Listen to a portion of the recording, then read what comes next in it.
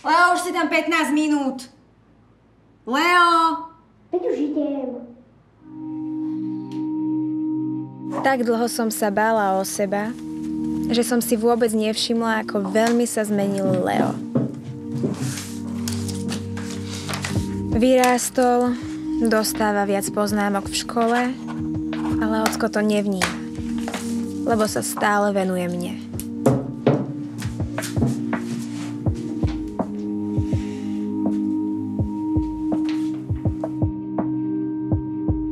A stále častejšie sa hrá na svoju obľúbenú postavu kapitána Lea.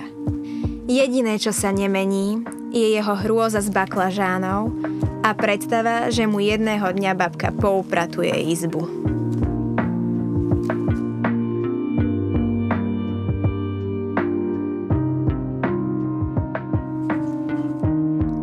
Odkedy som doma, prebral všetky moje povinnosti.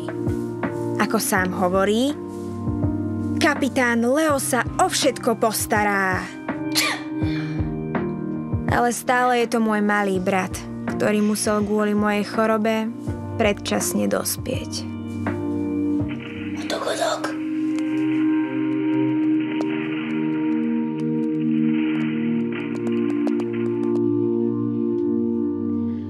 Leo, ak okamžite neotvoríš dvere, tak ti dám do postele baklažány.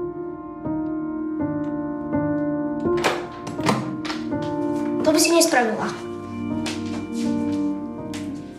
Našťastie sa už cítim tak dobre, že sa mu môžem viac venovať. Samozrejme, keď sa vyspím.